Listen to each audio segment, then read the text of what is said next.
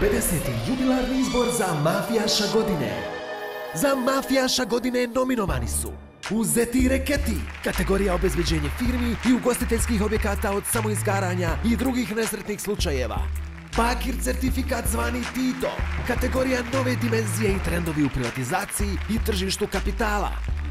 Tule prah zvani Beli, kategorija pakiranje i distribucija praškastih materija. Biljana Roštiljević zvana Bica, kategorija zapošljavanje mlade ženske radne snage u sektoru usluga.